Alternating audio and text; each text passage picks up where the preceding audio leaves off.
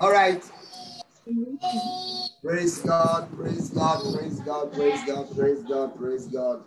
God is Hallelujah. good. God is good. God is All good. the God is time. good all the time. Shalom, everybody. Good evening. Good evening. Beloved, you're welcome once again to another time in the presence of God. Welcome to Church in the House. Um, this is Jesus House, Silicon Valley. Um, Jesus here with one. Welcome to another exciting time of Bible study in the presence of God. Um, if there is um sound or movement around you, please you can mute yourself um, so that we can come into the presence of God and enjoy the fellowship as we get ready for uh, our pastors, our leaders, and um, ministry team to come on. So I want to call on Brother Boris, and he's going to lead us in opening prayer for about two, three minutes. And then Dr. Chika, the triumphant voices, will be getting ready to lead us in a moment of praise worship. All right, Brother Boris, over to you. Hallelujah. Praise the Lord. Hallelujah. Thank you, Daddy, for giving me this opportunity. Hallelujah. That day again. The Lord is great. The Lord is mm. so we have been hearing of so many dead, but our God has been there for us. The prayers that we have been praying, they are not going in vain. I just want us to just bless God. If you can hear the sound of my voice, just say hallelujah. Just bless the name of our God. Just thank God for the grace life. Thank God for your family. Thank God for protection. Thank God. I just want you to say glory, glory, glory to the King of Kings. Glory, glory, glory to the Lord of Lords. Father, we thank you for another day. We thank you, Jesus, for your presence. We bless your holy name in the name of Jesus. While we are praying, I want us to just use this opportunity as we start the service and commit just commit a servant of the Most High God into the hands of the Lord. Just say, Father, may you increase in his anointing. Lord, may you empower him. Lord, may you strengthen him. It is not easy to do this, but the Lord has accorded our daddy the grace to carry on despite the challenges of nowadays with this pandemic, but we are still able to move ahead. I just want us to just pray that, Father, may you encourage, may you give Bless the leaders. May you give them more inside of your word. May you fill them more. May you fill us in the name of Jesus. Thank you, Holy Ghost, for strength. Thank you, Lord, for empowerment. Thank you, Father, for your presence in the name of Jesus. I want us to invite the presence of the Holy Ghost. Just, Lord, come and take full control in the name of Jesus. I want us to just invite the presence of the Holy Ghost. Sweet, gentle Holy Spirit, we invite thy presence, Lord. Father, man, this could be whatever it is. But Lord, my King, Distance is not a barrier. We pray for thy anointing, Lord. Let it flow. Lord, may you impact life today in the name of Jesus. Even the teaching of today, there be great transformation in the name of Jesus. Father, we pray for the manifestation of the Holy Ghost in the name of Jesus. Father, we use this opportunity and we cry, Lord, unto you, Lord. In any way we have gone wrong against you, Father, please have mercy. Lord, clean us with your blood and make us new again. Father, have mercy in the name of Jesus. Lord, we commit the service into your holy hands. Father, come and put control. Holy Ghost, my lady, In the name of Jesus. in the name of Jesus, we commit the service, Lord, into your holy hands. Father, move again. In Jesus' name we have prayed. Amen. Amen. Hallelujah. Hallelujah. Praise God. Amen. Hallelujah. Amen. Okay. Can everyone hear me okay? Yes. Okay. Yes, yes. Okay, praise God. Hallelujah. Unchangeable God, unchangeable God, unchangeable God, unchangeable, Unchangeable, unchangeable. you are unchangeable God, unchangeable God, unchangeable God. Unchangeable God, unchangeable God, Unchangeable God unchangeable God, unchangeable, unchangeable God. You are unchangeable God, unchangeable, unchangeable God. You are reliable God, reliable God, reliable God.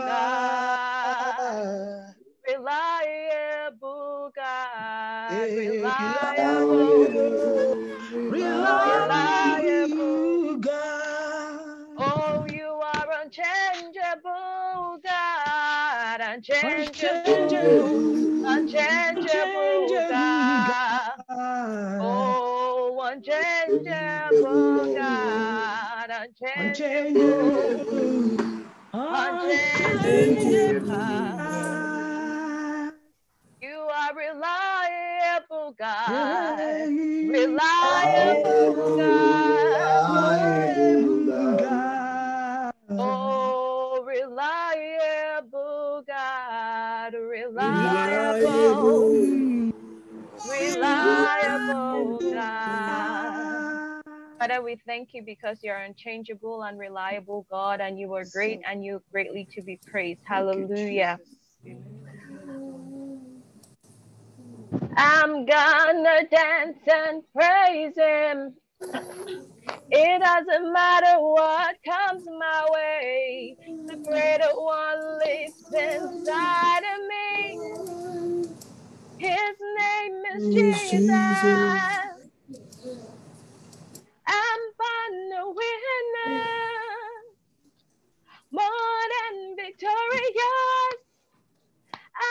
I'm a head of the kingdom, filled with the Holy Ghost. I rejoice in Him. I rejoice in Him. I rejoice in Him. More than a conqueror. I rejoice in Him.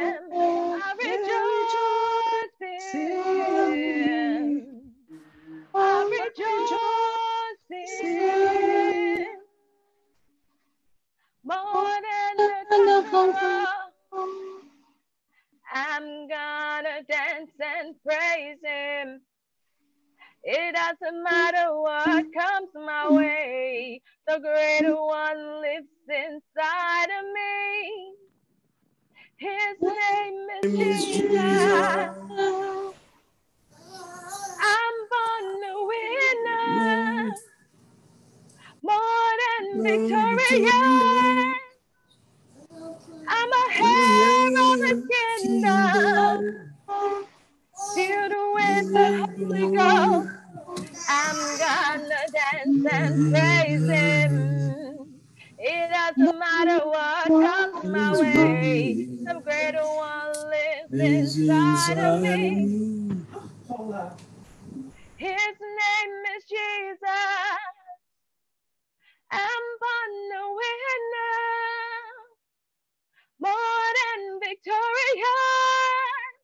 I'm a His kingdom, filled with the Holy Ghost.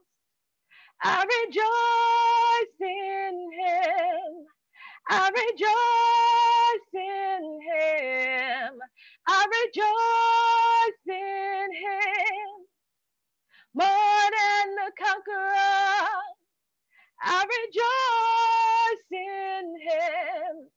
I rejoice in Him. I rejoice in Him. More than a conqueror. No weapon formed against me shall ever prosper. The greater one lives inside of me. His name is Jesus. I'm born a winner, more than victorious.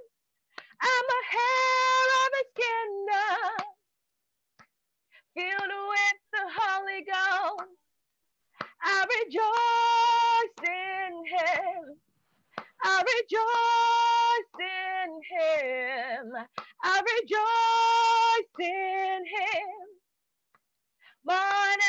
conqueror. I rejoice in him. I rejoice in him. I rejoice in him.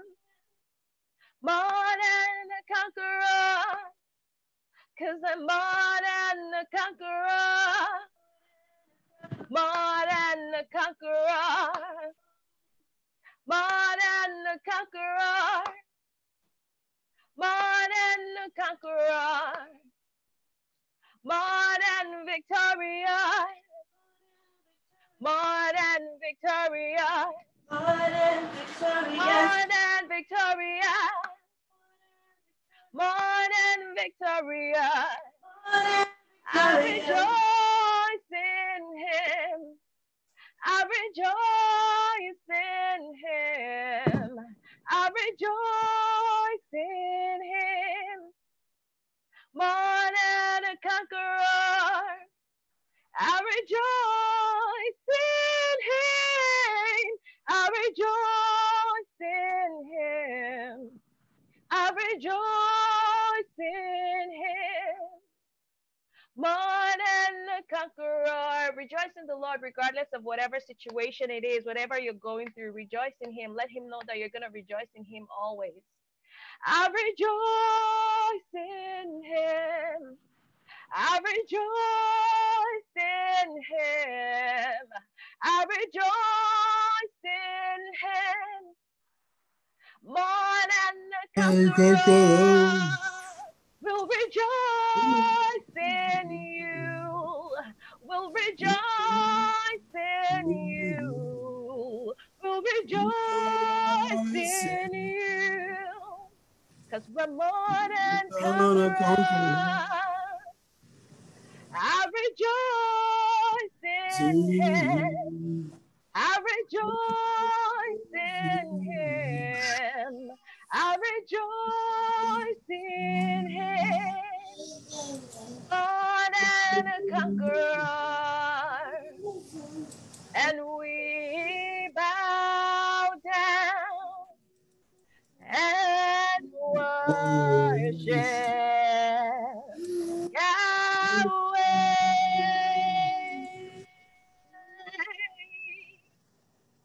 Oh, we bow down and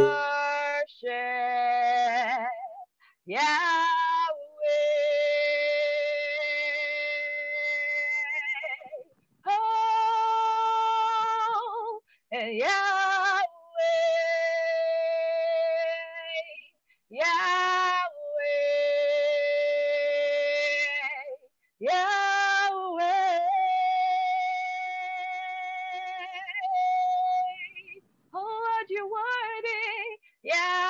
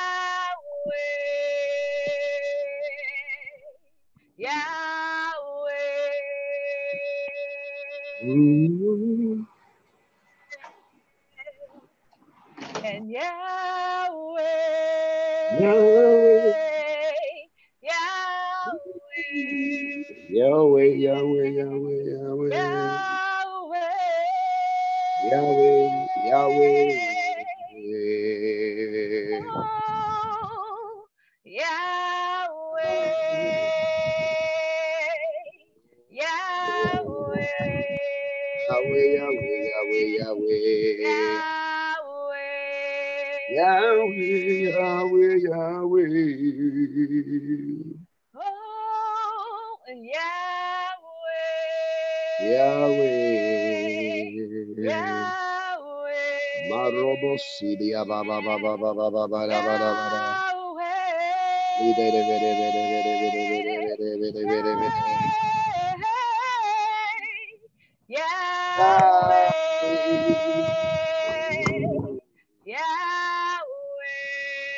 Yahweh, Yahweh, Yahweh, Yahweh.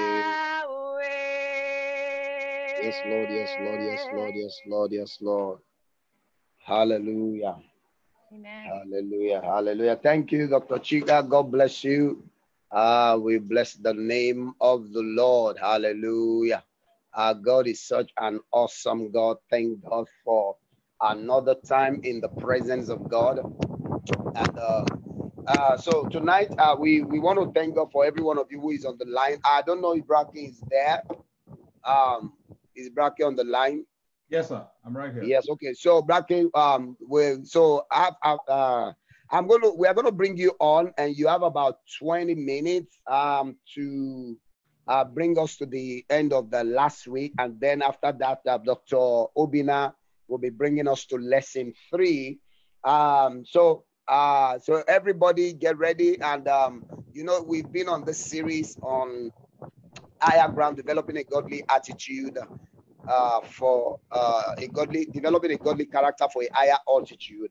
And we've been having a series of teachings. So we started with um, uh, having what, what who can don't let me go there. Who can remind me what was the first lesson we learned? So quickly, I'm I'm taking three minutes out of Bracken's time. Who can quickly? So let's respond on time, and so that uh, we can bring our teacher on. So who can remind me what was the first lesson? What was our first lesson? Unmute yourself and, and speak to us, please. What was our first lesson? First lesson was handled by me and Apostle Paul. So, who remember the title or the topic of the first lesson? Developing what? A teachable spirit. So, and what's the second lesson that Bracken is going to be teaching tonight? Who can remind us what's the second lesson we had last week? Mhm. Hello. Hi. Keeping the unity of the spirit, sir. Okay, thank you, Brashim. You must talk. You see, it's part of the thing we are talking. If you don't talk, it show it shows that you are not learning and you are not you are not following the teachings of the house and being loyal. So when when you don't encourage your teacher, how will your teacher know that oh you you understand what they are talking about? So let us encourage our teacher that we are following them. So who can give me one or two things that you learned last week uh, from the teaching? Uh, one or two things that you learned from the keeping of the unity of the spirit. Yeah, I need somebody to tell me a little bit. Yeah, so okay, it's okay. So tell me what what did you learn quickly? Yes. Yes, go ahead, Sister Moyo. You want to give it to us? Yes, go ahead and tell us what did you learn? Yeah, we learn about uh, the unity of the spirit that is help us. Yeah, Brad Boris, go on. Hallelujah. We learn Yeah, unite, unity in prayer. We unity learn in about prayer. the yeah the purpose of the church, and when there is unity, um, uh, it guides us with authority too. And we also learn about uh, hindrance in unity. Hindrances to unity. All right. Hindrances to unity. Amen. Thank you. Sister Moyo, what did you say we learn? One more thing. Okay, we should never argue with our teacher. So that is um um having a teachable spirit. That's what Sister Moyo is bringing us into. All right, Bracky, over to you. We are bringing you on. So let's Okay. welcome our teacher for tonight. Uh, as Brother K will be ministering to us, let's give the Lord a shout offering. Somebody shout hallelujah. Hallelujah. Hallelujah. So you are with me. Okay, right. Yeah, Bracky, over to you. Yeah, amen. So yeah, so last week I um I started on uh, how to promote church unity. Yeah. And um, one of the first thing is that we, we must understand the purpose of the church. We talked about the purpose of the church, Yes, sir. um, why, why we have the church, and what you know the mission of the church. We also looked at understanding authority, that is, Yeah. you know, authority and leadership in the church. Yeah. We touched on united prayer, why we need to pray, you know, as a corporate body, and why we need to also pray for our leaders. and um, and the power in uh, you know corporate prayers. And um, we'll, today we'll be looking at um, handling offenses, doing things in love, Mm. uh, and also about praying for our leaders. And that will bring us to the end of uh, the topic, keeping the unity of the church. Yes, sir. So let, let us pray. Heavenly Father, our King and our God, we give you all the honor, we give you all the glory, we give you all the Thank adoration. you, Lord. Father, Lord, as we go into your word, open the eyes of our understanding. Heavenly Amen. Father, let your word, let it bear fruit in our lives, a hundredfold, a thousandfold, and a millionfold. Father, Lord, by the time we will share the grace here today, let us know that we came and we met the Lord. In Jesus' mighty name we are praying. Amen. Amen. So we're looking at um, handling offenses. Um, Matthew 5, uh, verses uh, 23 to 24 admonishes us, you know, about how we should conduct ourselves when in church, when we have a, you know, a situation with our brother or our sister, or we have an offense with someone. It asks us to, you know, basically be reconciled, you know, to our brother before we even put, you know, our tithes and our offering down. So offense cannot but come, you know, offenses will divide and bring disunity, you know, but um, offenses, when properly handled, you know, we will keep the work of, of, of God going and our life sweet and, and beautiful. In uh, Philippians 1, verses uh, 9 to 10, it tells us to be sincere, you know, without offense to the day of our Lord Jesus Christ. So, you know, in the church, offense will come, but it is the question is how do you handle the offense?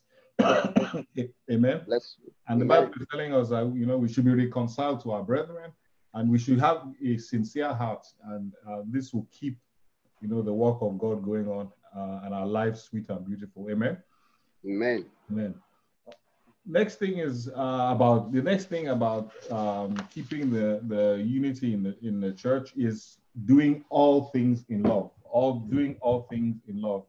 And um, we have some references Ephesians 4, verse uh, 2, Ephesians 4, verses 15 to 16, Ephesians 3, verses uh, 17, Ephesians 5, verses uh, 20, uh, verses 2, and First Thessalonians 3, uh, verses 12. We don't have time to, you know, to, to read each one of those scriptures. Oh, but, but what it, it's, it, but you know, the gist of it, as you all know, is it, it talks about love.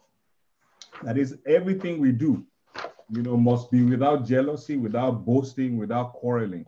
We must ensure that whatever we do in the house of God, in our families and in our businesses or in our in our daily life must be done in love and with a general interest and profit of the whole house in mind. So not Mm. you know, not doing things for your own personal good, but for the body of Christ, of which you know we we we are a, a member of that body. You know, I mean, love really has to be your your motivation you know, and we have to examine our beliefs and our ideas and ensure that we are we have the right and good uh, mind and attitude, and nothing we do should be out of arrogance or or to win, you know. And I'll give you an example, you know. Sometimes, you know, people want to give the biggest uh, offering or contribution or tithe in church. It shouldn't really be about who is doing, you know, the biggest thing or or or who is giving the most. The Bible says, "Let not your left hand, know, you know, uh, and your right hand know what you know all the things you are giving. We should, I mean, that we should give generously. Amen. And, and then the, the, the last thing, you know, um, is about praying for our leaders, praying for our leaders. This is um, something that, you know, um, is very important because our leaders stand in the face of attacks, opposition, you know, uh, weaknesses, temptations, trials, deci- decisions that they have to make, you know, afflictions and all sorts of oppositions. As believers, you know, we must continually lift them up in prayer so that they can, you know, lead us well and not do things that will jeopardize our lives and our ministry. And you know, we, we need to realize, and I, I, I, I'll you know say this out of personal experience. You know, in, in in my last church, I was you know the prayer warrior team. I remember a time we went to pray for a sister in church, and um, you know, four of us went to pray for a sister in church, and guess what happened to all four of us? We all faced, you know, individual attacks, you know, um, after we went to pray for this sister. So, you know, we need to to lift up our leaders, lift up our pastor, Pastor Bayo. You know, he's the shepherd of this flock. I, I, I, and I'm sure he cannot even begin to tell you what he, you know, he faces on a daily basis as he shepherds this flock. So we know we really need to make sure we constantly, like the apostle was saying, pray without ceasing. We need to pray for our leaders, pray for our leadership, pray for ourselves, pray for the church, you know, without ceasing.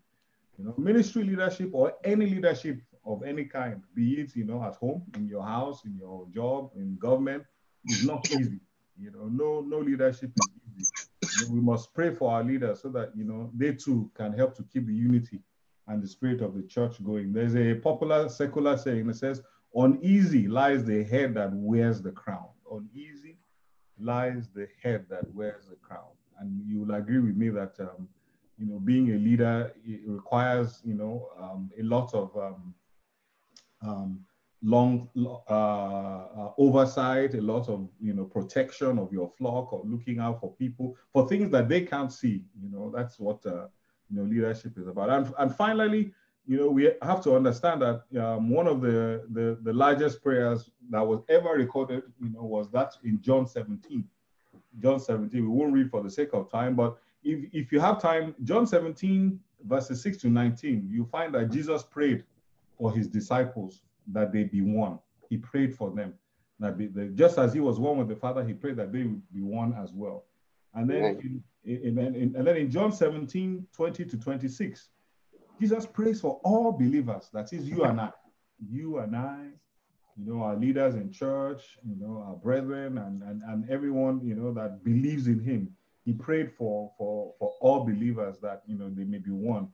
And, you know, this um, had to do with the unity of all believers, that is the whole church at large. You know, we must, you know, all individually and collectively be ende- endeavoring that prayer is fulfilled in our lives and in our church. We have to endeavor to keep unity, amen.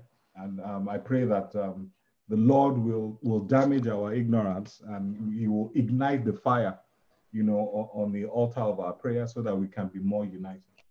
Amen. Amen. Amen. Amen. Amen. All right, thank you, Bracky. All right, before before hold on, Bracky still leave Bracky on there. Uh, before Bracky will go, um, do we have any question for him? I have one. So uh, I want to ask, how can one, how can one walk in the house of God and you are doing something great for God, and you are not doing it in love? How, how is it possible? Is it possible to walk or do the work of God and not do it in love? It, it, it's, I mean, that is, it's, there, there's some things in mathematics that we say are mutually exclusive. It's not possible. It's not possible. There things, there's some things that, you know, they're just not possible. How can you be working, you know, because if we, if we going back to what we were reading, what we were talking about in Matthew, Matthew 5, 23 24, it talks, yeah. you know, t- tells us that, you know, if you have a, an offense with your brother, it says, you know, go and reconcile and be reconciled with your brother before you come and drop your offering. So, you know, it's it's it's it's not possible for for someone to say they're walking, you know, in the house of God and there's no love there. It's it's it's I don't see how it's possible, but you know, I I I I stand to be corrected.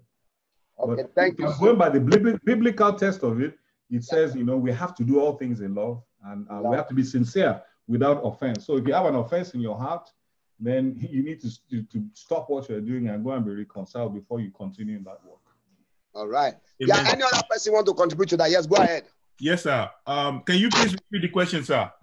Is it possible to, to be working for God and doing something in the house of God and you are doing it without love in your heart? Oh yeah, definitely, sir. It happens every day, every second of the day. Uh, just like um, some people will go to church. We, we need to see you because you are speaking. We have our live audience who are watching. So please, um, if you are talking, we want you to come alive so that people can feel the impact. Uh, it's very interactive section right now. And so, okay, yes, sir. go ahead. All right, sir. Good evening, sir. God bless so, you. It is possible for someone to actually be working in the church and doing it out of self-service. That's yeah. the word, self-service. Because okay. sometimes people do some things, it's just like it's just for me, myself, and I to be recognized, you mm-hmm. know. And when we're talking about unity in the church, we have to understand the foundation of unity in the first place.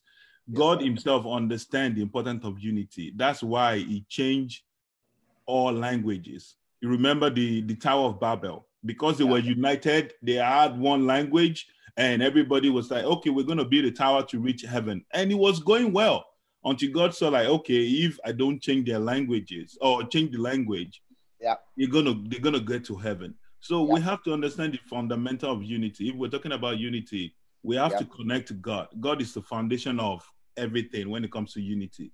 Right? right? So and some people they have like ulterior motive when they come into the church, they can they can pay tithe, they can, you know, contribute to the work of God and stuff, but they are doing it in the sense that, well, I'm trying to do it. So when it's time for pastor to nominate the head usher, my name is going to be called. Or when the pastor is trying to make a decision in the church, I have to be there, I have to have a say. So it's possible for someone to be active in the church and just doing it out of self-service, not for the love of God or for the advancement of the church. It is possible, sir.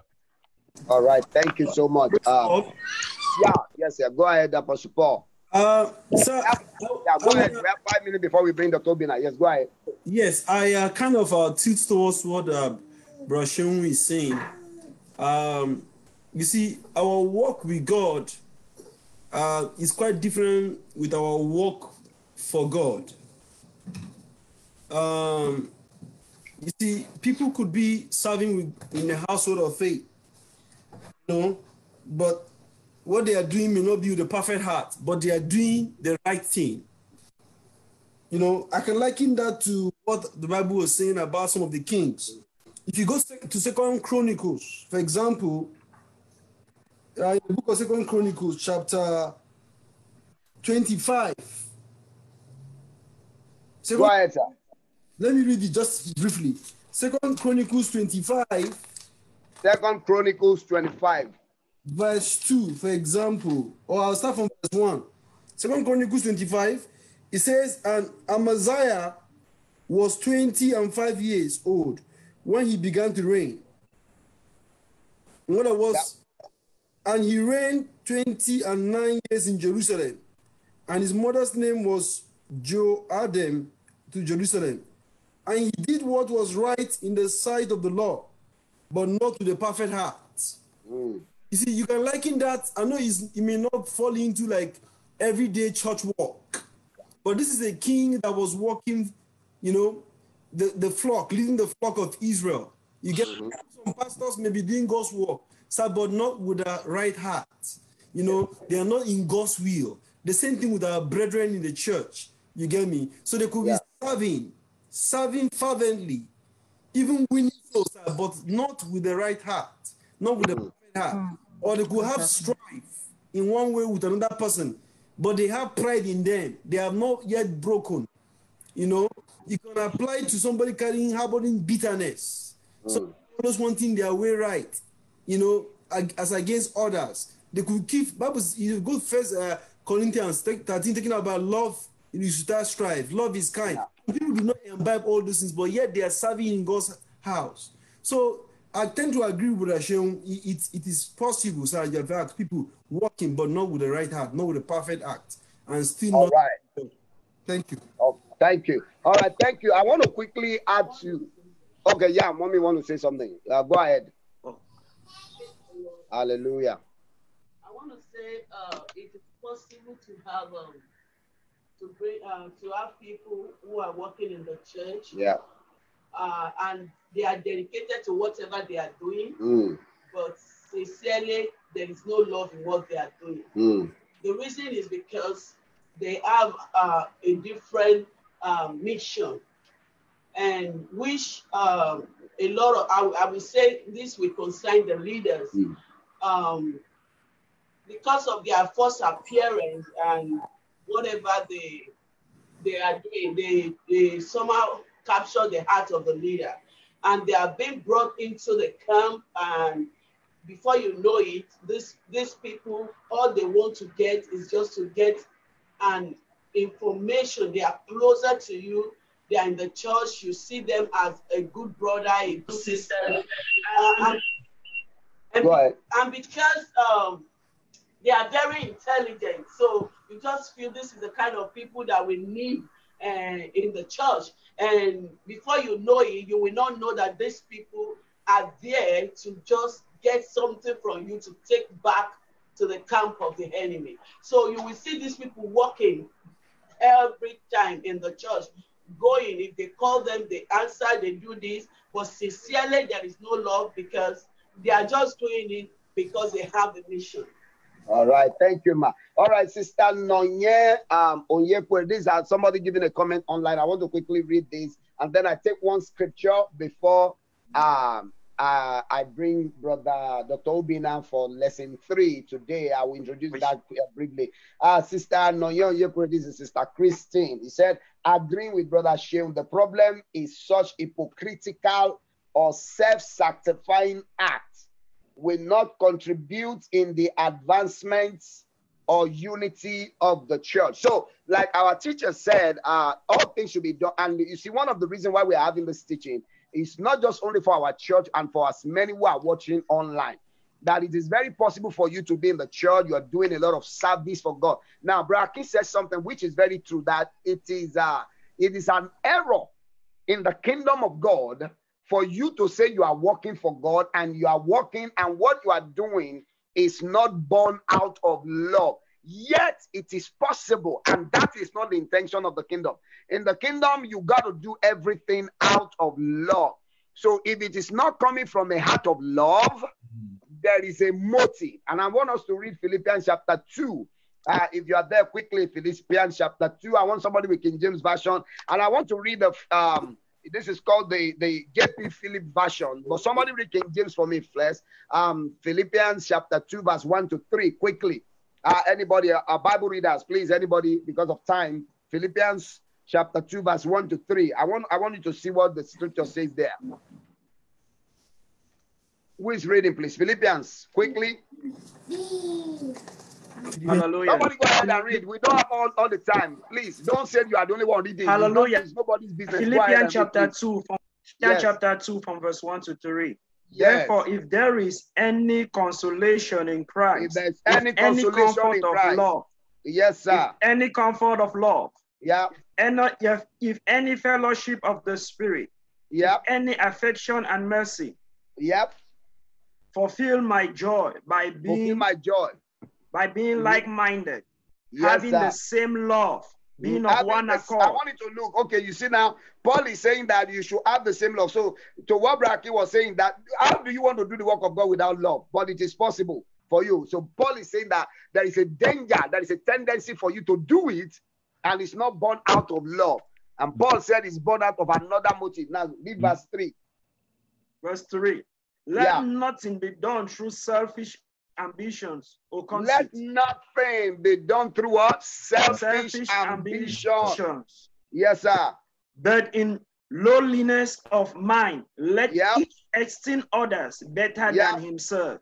And mm-hmm. that than himself. Yes, go on, verse 4. Let each of you look out not only for his own interest, but also for the interest of others. So, whatever we do in the kingdom of God, it has to be with the interest of God and not with the. Uh, we have to have the interest of God and the interest of others in mind. It should never be of vainglory. Uh, a translation said, "Let."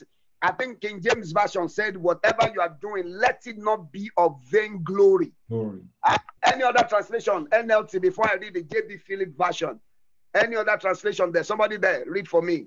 What version do you have? Amplified NLT. NLT, verse verse three, especially verse three and four. Read. Don't be selfish. Don't try to impress. So it is possible for you to do the work of God with just want to impress people. Yes? Be humble. Thinking of others as better than yourself. Yes, go on. Verse 4. Don't look out for your own interest. It's not about you, it's about the kingdom, it's about Christ, it's about others. Yes, go ahead an interest in other. The reason why we are having this series is for us to be able to have a healthy church. When we understand the purpose why we're in the church of God, whatever I'm doing, I'm doing it for the sake of the name of the Lord. And it has to be battered out of love. That is why Apostle Paul said in First Corinthians, I might have the tongue of angel, I might prophesy, I might do all this thing. If I have no love, I'm like a tickling cymbal. So people can teach out of love. They can do it without love People can, people can, people can preach, people can prophesy, people can sing and do everything, and they are doing it. Uh, uh, can you turn that fan to my wife so that every, let her keep keep keep, keep warm? The temperature is is too much here, but well, God God is good. So it's, it's still part of love. I'm showing love. Oh, praise God, Hallelujah. So anything you do that is not out of love, the Bible says is is is an evil. Yeah, somebody want to say. So, Susie, do I have somebody raising up their hand? Yes. Yeah, Boris. Yeah. So before Boris talk, let me read this translation. J.P. Philip version. He said, "Now, if you have known anything of Christ's encouragement and of His reassuring love, if you have known something of the fellowship of His Spirit and of compassion and deep sympathy, do make my joy complete. Live together in harmony." Live together in love as though you had only one mind and one spirit between you. Never act from motive of rivalry or personal vanity, but in humility, think more of each other than you do, of yourself.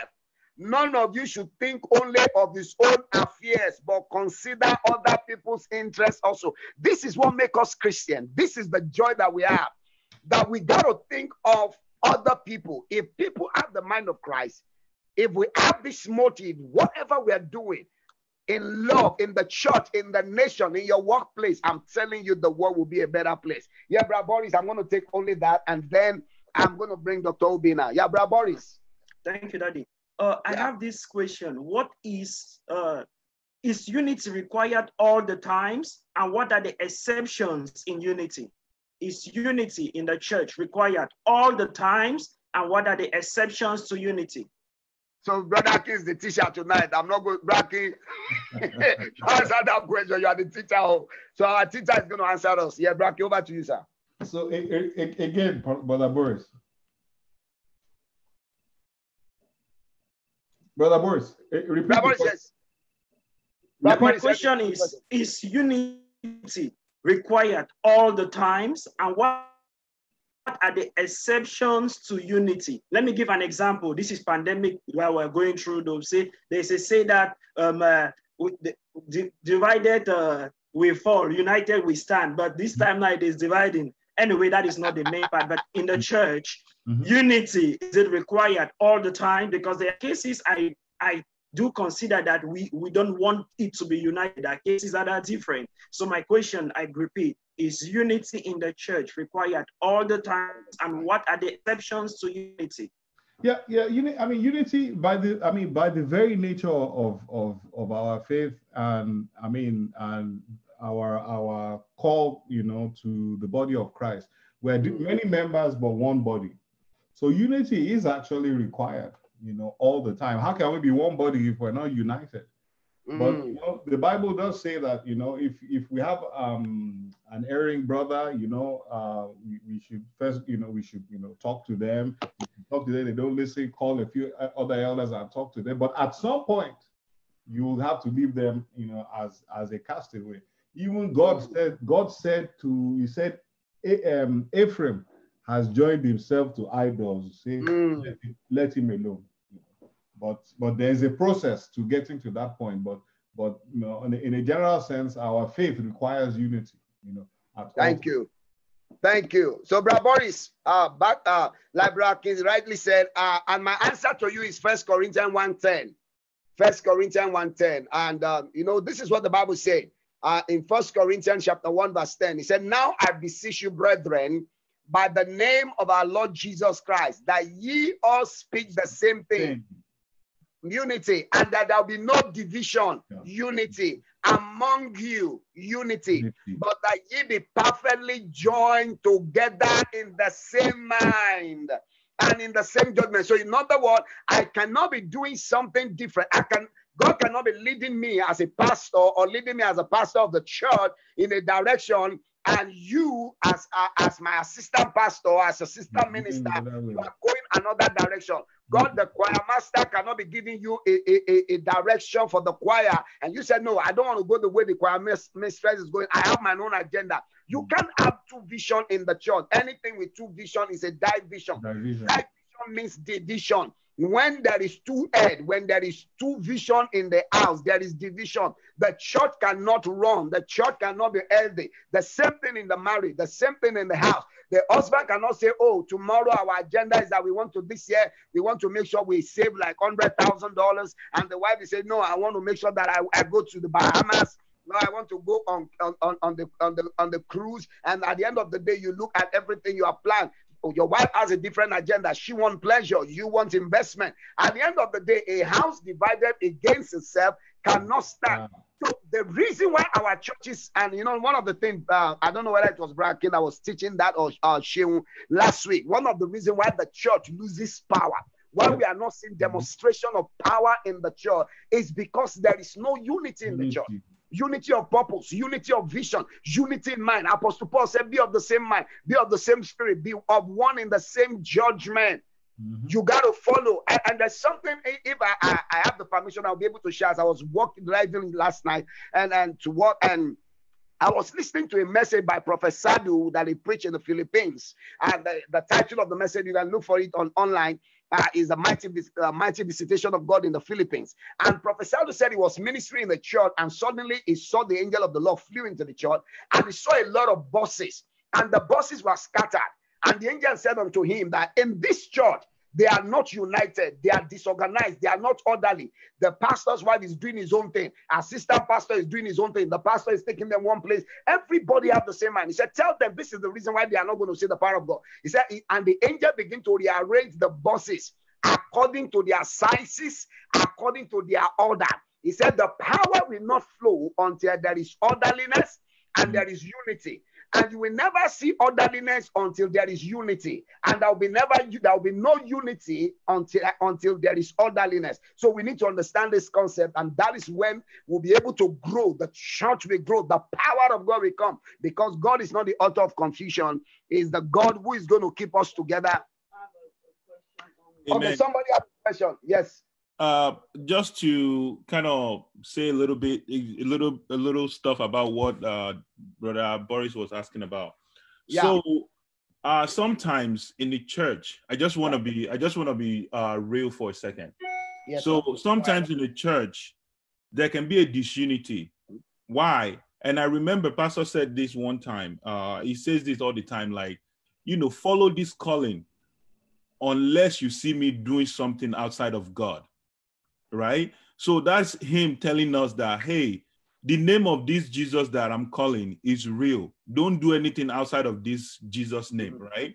So if you see me going outside of this Jesus, then mm. don't follow me anymore, right? Yeah. So basically, yeah. what is basically teaching us is in the church, we have to be together, we have to unite to do the right thing, to follow the name of Jesus Christ, to do his teaching and follow the leading of the Holy Spirit. But people come together, people unite to do evil. So it's possible for disunity to be in the church if the church is not heading in the right direction. So, in the name of unity now, if a church is heading in the wrong direction, you see yeah. the pastor that is saying, okay, oh, uh, brethren, please, tomorrow we are going to invite uh, Babalawo to come and preach in the church. Is the current Babalawo of this city or this uh, state is very is very vast in juju and everything. I just want him to share one or two things with you in case if Jesus' name is not working for you, you can seek a temporary solution, right? So people come together to do evil. So sometimes in a church, you can you can kind of step back from what people are coming together for and ask God to lead you and ask the Spirit of God to lead you and keep you away from what is not right in the church. So sometimes Amen. you will see a disunity in the church when people are not doing the right thing. The right thing. Thank you, Brashio. Okay, there is a question online, um, Bracky. Uh, this is for you. Somebody yeah. said, What if you are living out of love and it is used to harm you or taking advantage of your kindness and love? This is coming from Sister Barbara online. He said, What if you are doing everything out of love and everything you are doing out of love for God or for an individual? And the people are using your love and they are taking advantage of your love. What do you do? How do you react? Back to you, bro. Okay, uh, uh, teacher. Yeah, I mean, uh, the the that's a very good question, and, I, and in actual fact, I think we've dealt with this before because I mean, Jesus, the when Jesus answered uh, the question, said, "How many times should we forgive, you know, people?" Mm. said, uh, was it 49 times? I mean, seven, you know, seven times, seven times, seven. But basically, there was no limit to forgiveness. You know, now there's nothing wrong with forgiving people, but there comes to a point where it becomes abuse. You know, people are abusing you, are taking advantage. In that situation, you know, you still will forgive, but you need to find out and figure out what is a healthy boundary between you and that situation. You know, that's the way I personally deal with it. You know, I'll still forgive the person, still continue in love, but I would, you know, set a healthy boundary between myself and that situation or that person. You know, not that I won't stop forgiving. them. Th- Thank you, thank you. So, uh, uh, Sister Barbara, I think you can get that. So that no matter what, uh, what the person is doing, you you have to keep on loving. You need to keep on loving, and uh, the more, uh, the more you love, you you love, you forgive. But uh, don't be don't uh, like he Stupid. said in the palace. Don't be stupid and don't don't give yourself to be taken advantage of. Like like Bracken said, you want to show the person that you love. You want to show the person you are forgiving them, but at the same time, you don't want them to take advantage of your liberty in Christ. Okay, sometimes there could be a uh, make sure that you don't give room for them to hurt you. But that does not mean you are not going to love them. You are going to love them. You are going to forgive them. Jesus said, How many times should we forgive? He said 70 times 7, not 7 times 7. 70 times 7, and which is 490. Somebody say, Lord, have mercy. and I, you know, I, I don't know. Uh, it's only a madman that, and that's four, that's 490 times, not in one year, in one day. And I don't think there's anybody who will offend you 490 times in a day. Not possible. Even a madman cannot offend you 490 times in a day. So, but we need God to increase our faith because some of us, some people say, No, Pastor, I, I can't, I can't take that. So that is why we need to say, Lord, help us. The disciple of Jesus said, Lord, increase our faith. Hallelujah. God bless you. All right. So we are moving on to the next lesson for today. And uh, I want to bring um, Dr. Obina.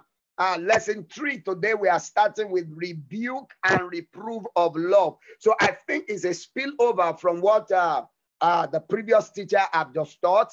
And then we are going to be looking into reprove and uh, rebuke and reprove of love. And uh, our text for that is going to be taken from Leviticus chapter 19 and Hebrews chapter 5. So uh, I'm going to read the introduction, then I'll bring Dr. Obina. Dr. Obina will start from rules for reprove and rebuke. So he says, men are bound to make mistake. People are, are bound to go off track and even go into sin. But we as believers are not to act as if it is none of our business.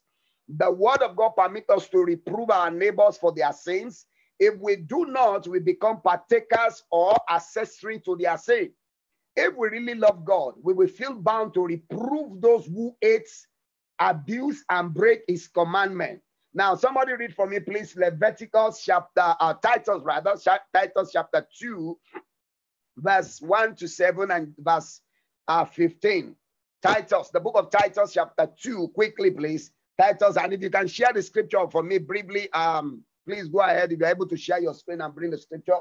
Uh, Titus chapter, somebody say shy online. Titus chapter, chapter, chapter 2, verses 1 to 7. Yeah, do, do we have the scripture? Yeah, read for me, please. But but speak thou the things which become sound doctrine. But speak thou the things which become sound doctrine. Yes, go ahead. That the aged men be sober, Now the aged men be sober. grave, temperate, Yep, yep, sound in faith, yep. in charity, in, In charity. Yep. in patience. In patience. The aged women likewise, Yeah. that they be in behavior as becometh holiness, Yes, sir. not false accusers, Not false accusers. not giving to much wine, Yep. Teachers of good things, Teachers of good things. Yes. that they may teach the young women to be sober, Yep.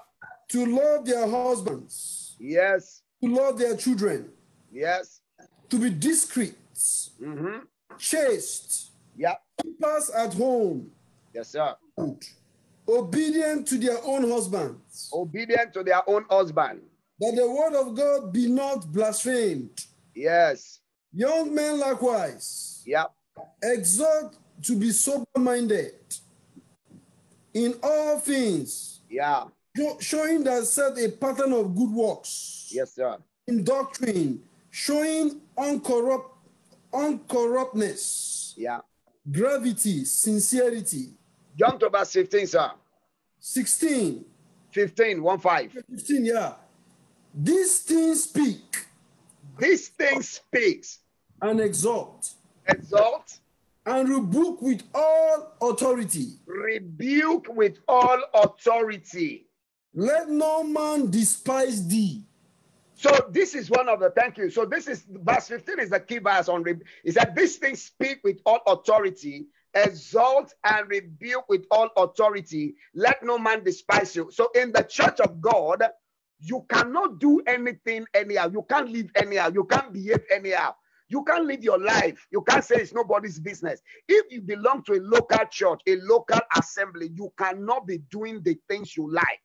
You cannot live in sin. You cannot pro, you cannot you cannot just be creating trouble in your home, your marriage. We cannot hear in the church that you are always fighting your husband. Today you bite your husband. Tomorrow you beat your wife. No, the church of God will call you to order.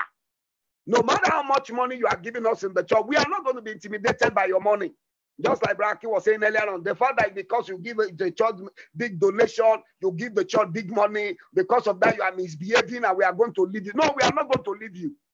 If your pastor is leading you, you are in you are in error. They are leading you to destruction. The church of God, the purpose of the church of God is to help people to bring our life back in order, to bring us back in the order with Christ's life, Christ-like character.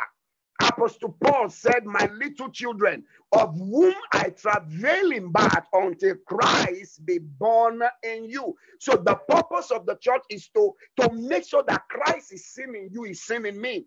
I want to become like Jesus. You want to become like Jesus. And part of the way of becoming like Jesus is that we are going to correct you. So if you are not going to receive correction, then you have to leave the church. We have to excommunicate you. But we are still going to do it in love. So the purpose of this teaching is for you to know that when you belong to a church, you need to know that you belong to the family of God. The church is a family. In the family, there is correction, there is review. We correct our children when, when they are wrong. We correct our spouses, our our a, a, a family members. So get ready to be corrected in the church, and we are going to do it in love. So I'm going to bring Dr. Bina, but let me read this introduction. If I love the government of this country, won't I re- reprove and rebuke a man who abuses or breaks a rule? If a child loves his parent, would he rebuke a man who abuses his parent? If a man loves the universe and is motivated by love, he knows that evil and pollution is consistent with the it's not consistent with the highest good of the universe. If not, counteracted sin will injure and ruin our very nation, our very nature rather. Sin tolerated is destruction in the making when we continue to tolerate sin and we don't correct it, we don't rebuke it, is destruction we are looking at. Is direct tendency of sin is to overthrow the order and destroy the happiness of the church of the universe. Therefore, if a Christian see this happening, his, his benevolence will lead him to reprove and oppose sin. So every one of us, we are watching over for one another. We have to love one another and look for a way to correct errors and we have to do this in love, not in judgment. So put that at the back of your mind. We don't we don't judge, we don't condemn, and in the church we don't punish for sin. We discipline for sin because punishment does not bring repentance. Disciplines bring repentance and bring restoration. The Lord bless us in Jesus' name. So we are looking at rules for reproof and rebuke. So Dr. Obina, over to you. We cannot hear you. You're, you are muted. Your voice is not. So come, come, come alive again. Your voice, we need to hear from you. The devil is a liar. Dr. Bina, we can't hear you yet. You are still mute. I can see that you are muted. The sign is showing that you are muted. Hello. Can you All right, me? Here. God bless you. Yes. Okay. Praise God. Hallelujah. Okay.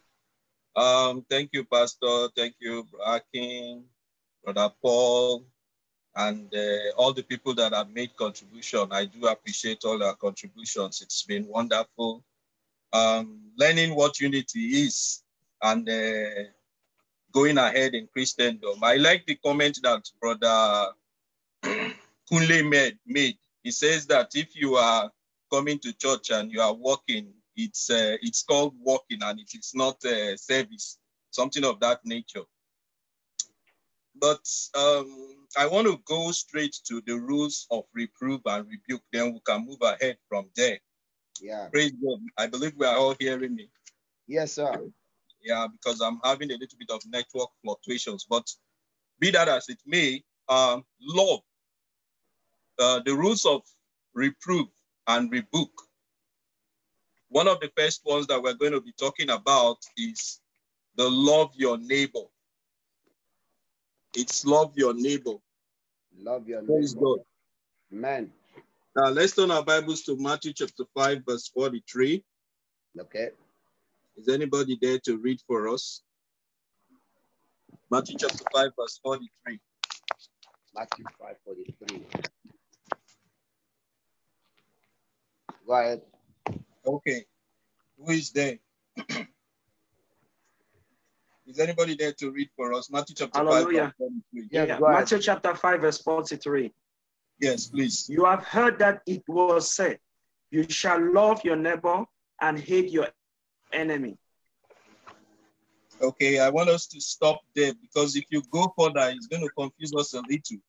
But then, let me read the introduction of this, and I want you to keep this at the back of your mind. It says, Love your neighbor.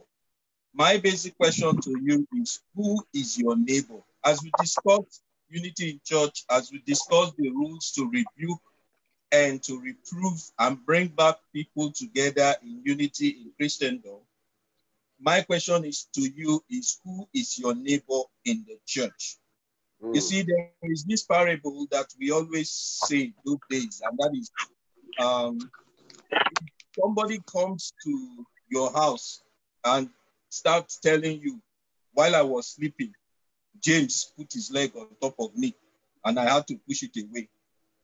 The first question you're going to be asking is, are you and James sleeping in the same house? Are you living in the same house? Or if I come to complain to you that ah, the place that I kept my food, somebody came, carried it, and ate it, you're going to ask me, how did the person enter my house in the first place? Now, why I made that illustration is to help you understand that for somebody to be a member of your church or your neighbor in church, the person is a, already a part and parcel of your, your community in church. Mm. Praise God. Can you see me? Can you hear me? Yeah, we can hear you. Go ahead. Okay. Even though you Yes. are posing a little bit. Oh, sorry. Well, please. your voice is on. The picture is only frozen. So Yeah, go ahead. We are hearing you. Okay, so the person is already a part and parcel of that community. Is already Yeah. a part and parcel of that church. So it is only people that are having something in common that can say, that can say to each other, I have offended you and I Mm. need redress. So I need uh, I need you to have mercy, I need you to forgive. So Yeah. when you are not close, when you don't have anything binding you, you don't have anything com- com- uh, bringing both of you together, Mm. that there is no room for that in the first place. And the basic thing that brings us together is the fact that we are children of God, Mm. we are Christians. And to move ahead, we need to have that basic understanding of what Christianity does to each and every one of us. Praise God. Hallelujah. The introduction here, as part of the first rule, is love your neighbor. Love for a particular people with whom you are connected should lead you to reprove sin. Mm. Now, reproving sin is part of, you know, you have seen something they are doing that is not right. You have observed something that is not in line with what they are doing. So you want to reprove them. You want to correct them. You want to help them do what is right. Praise God. Hallelujah. Sin is a reproach to any people. What that means is that there is something that is even uh, greater and better than sin. Righteousness exalts a nation. Sin is a reproach to any people. any man who commits sin also helps produce a society and organization harmful to everything good, such as examples of corrupt society, destroy its peace, and introduce disorder.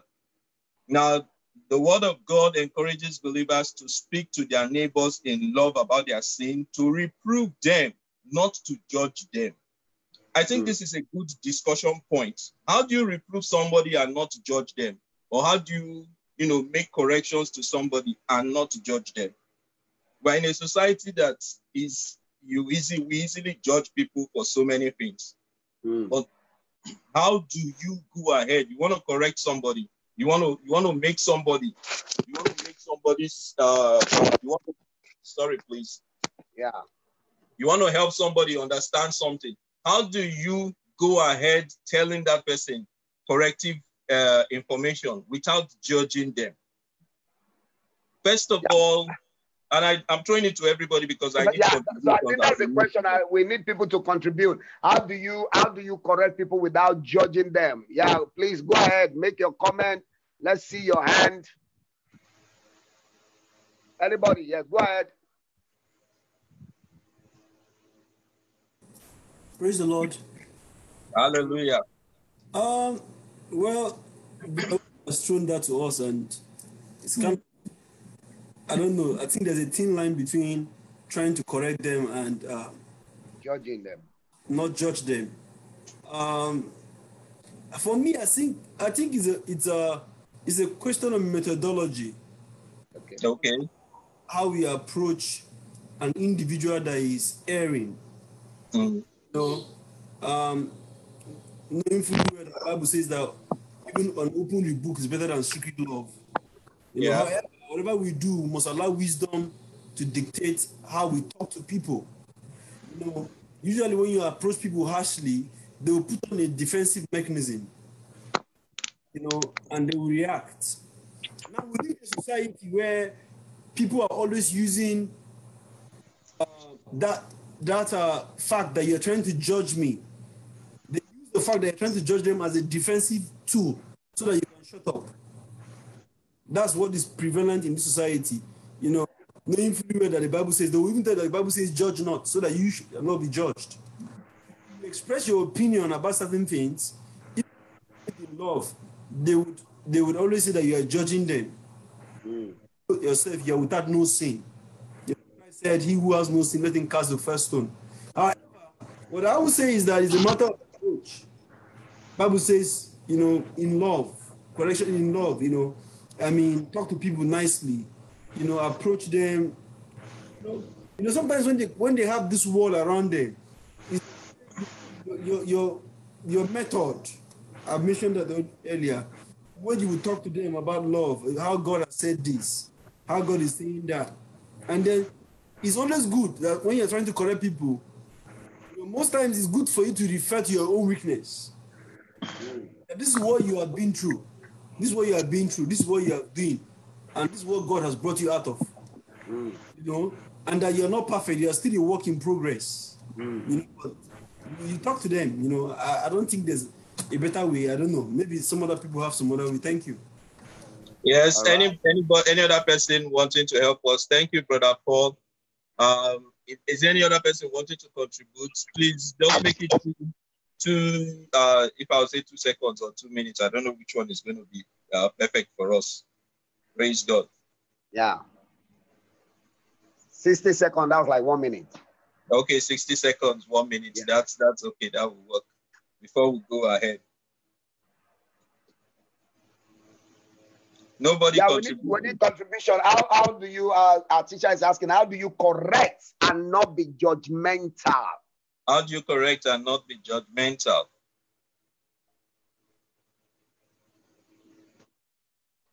Praise God. Let's go ahead. I'll give I'll give us instances. Uh, so our time is not uh, too fast spent. you ahead, see, uh, the word of God encourages. Uh, Dr. Bina, Dr. Bina, one second, please. Somebody have um, a comment here from okay. Sister Monye Onyekun. He said, he said, by first understanding that you are not perfect yourself. I love that. If you believe that you yourself, if you if you believe that you yourself are not above mistake, it helps you deliver your message to them from a place of love. Wow, I love that. Let, let's clap. Let's. I, I, and I think I like that. Don't call me that. Uh, let me quickly, let me quickly, before I throw that back to you, uh, and I think that's a very good, important thing that Sister Noye just mentioned. And if you look at one of the scripture we are considering, is Hebrews chapter 5, verse 1 to 4. So if you, you, you can read that scripture, the Bible said that everyone who is taken as a priest among men the reason why I am appointed as a pastor, you are appointed as a leader, as a Christian, is first to realize that you yourself you are subject to those mistakes. Yes, sir. So if you if you look from that perspective, I, I don't know if somebody can, Dr. Ben, sorry, let me quickly take your time. I, will throw it back to you. I want us to read that scripture because I like to show the world. It's not because when this is Bible study, Christianity is not my opinion. It's not about your opinion. It is about what does God says. What is the word of God? So when we are having this kind of godly discussion, it's not about your idea. It's not about my uh, education or my wisdom. It's about what is the will of God. How does God want me to, to correct people without judging them? And I think Sister Noyen just nailed it on the head. So anybody that have that, please quickly open Hebrews chapter 5, verses 1 to 4. Hebrews 5. If you have that scripture, let's read. Because of time, I need to throw it back to our teacher. It said, For every high priest taken from among men is appointed in matters pertaining to God for the people to offer both gifts and sacrifices for sin. He is able to deal gently with those who are ignorant and going astray since he is also clothed with weakness. Because of this, he must make an offering for his own sins as well as for the people. No one take this honor unto himself instead of a person who is called by God, just as Aaron was called. So thank you, Dr. Bina. Back to you. Praise God uh, for that contribution. Yeah, you see, I, I have it in a different uh, version, and I just want to pick verse 4, the living the New Living Translation says in verse 4, it says, And no one can become a high priest simply because he wants such an honor. Mm. Uh, he must be called by God for this work, just as mm. Aaron was. So the, the work of God is a calling in the first place.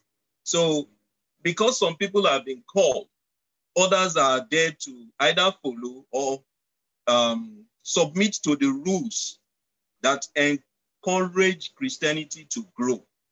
But I would like to also put a, a, a, something in parentheses there, and that is Christianity has grown to the level we understand it now because of what I call disruption in, in the unity. Mm. I, I don't want to um, take us away from what we are teaching, but I just want you to bear that in mind the fact that we have scriptures now that we can read is because some people disrupted the balance of the unity mm. so that they can move forward.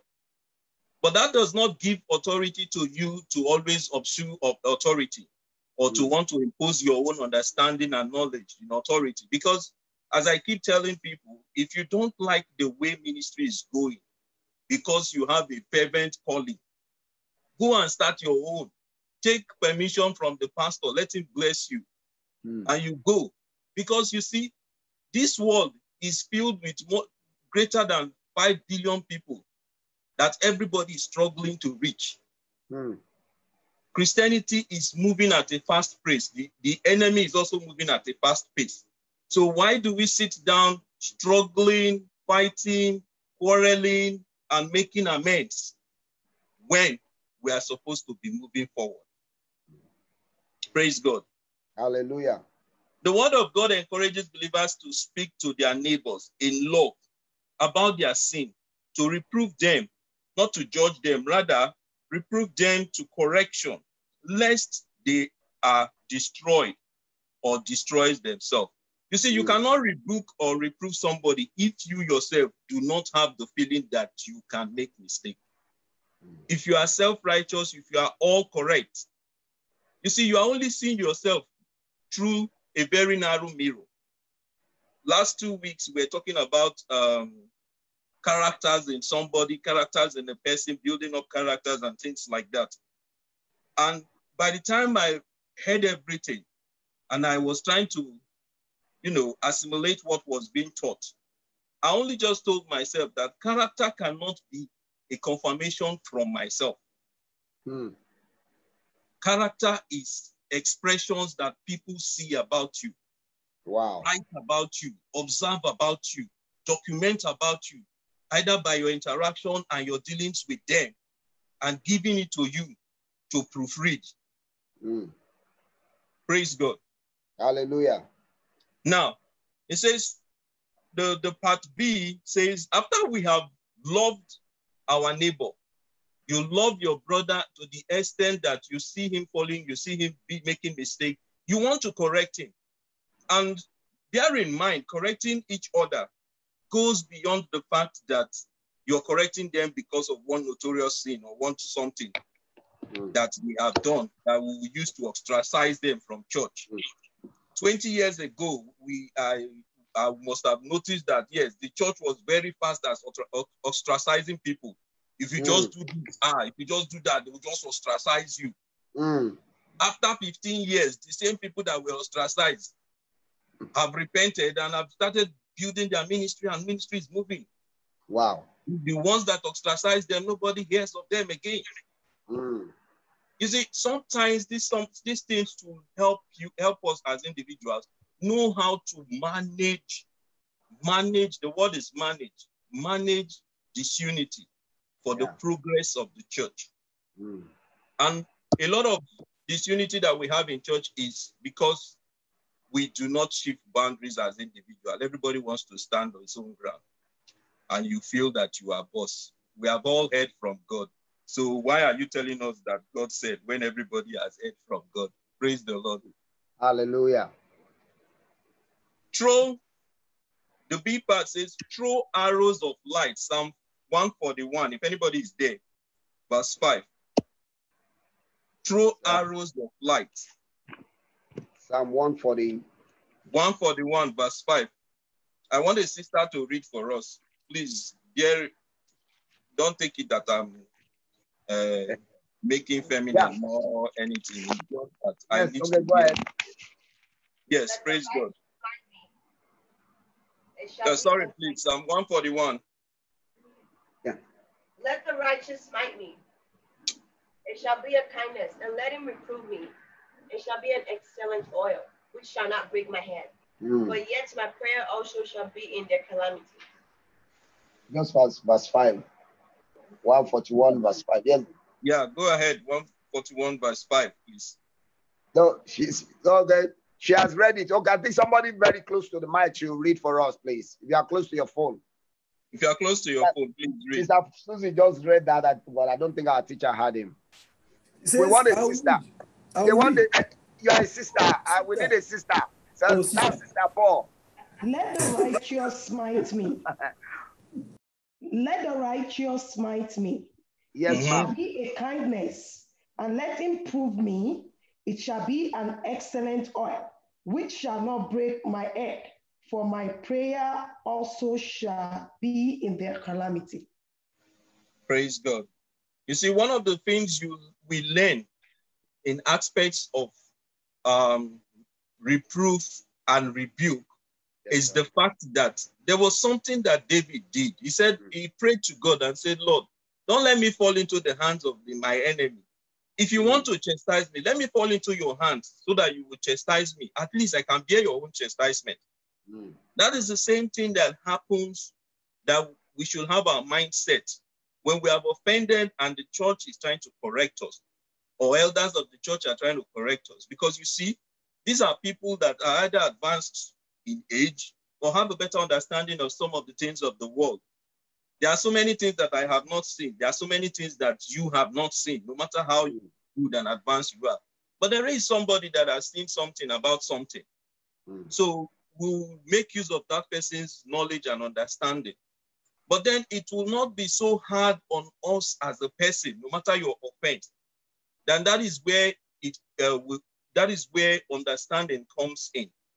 And you see, for this particular aspect, we want to look at the life of Paul.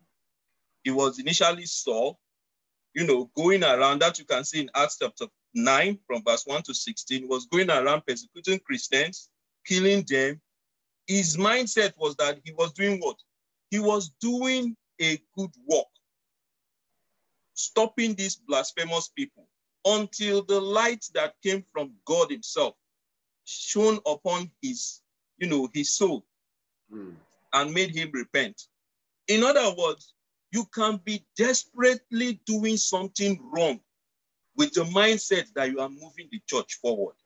Mm. With all your zeal, with all your excitement, you are doing it. Yes, it is good. But people are complaining. People are telling pastor.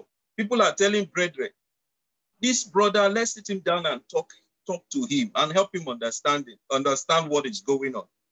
But you see, it takes humility. It takes humility to be able to listen to people. You see, if you have been in a church where there is disunity, where there is fight, there is no way the fire of God will move. Just forget it. Mm. There is no way.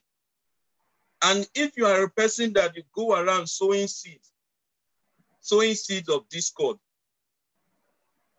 um, this morning, me and uh, my wife were listening to a message, and it was interesting because one of the things that we got from the message is that people go around, you know, um, I don't know how to put it, but you go to collect prayers here and there. Ah, Pastor, pray for me. This person, pray for me. Prophet, see my vision. Ah, you are just sharing. Prayer collectors. Prayer collectors. Forgive. You see, it only shows that you don't have the mindset to follow the ministry that God has put you under. I'm not Mm. saying you should not do that. I'm not saying you should not go. But if at every point in time you cannot sit down and believe in the prophet that God has sent you and believe in his calling and believe in his ministry, it's going to take you time to ever settle down to believe in any other ministry that you are roaming around Mm. looking for. Because Bina, after five years, every ministry Dr. after Bina, five somebody, years, some, somebody is trying to say something. Oh, just, just for you and Pastor Bayo, maybe you can talk about spiritual adultery.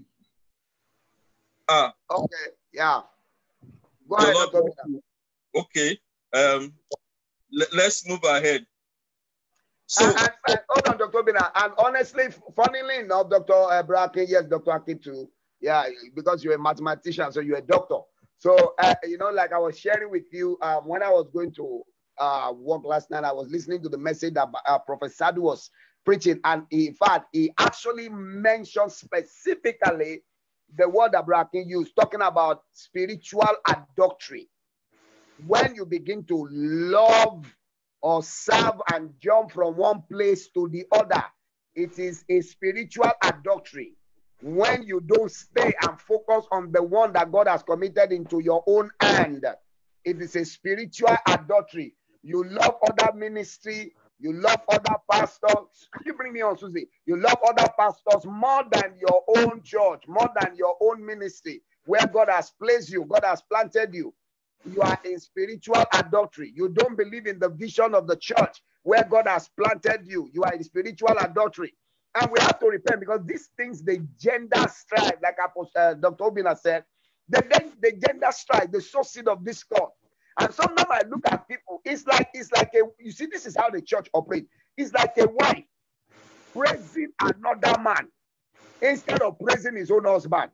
Say, ah, say you see, uh, Mr. So, so and so, the way he used to take care of his own wife. Hmm, hmm, hmm. They are not people like you. And people don't know what people do, that people sacrifice for their own church, for their own family to be good. And I give you a story and then I hand you back to Dr. Bina.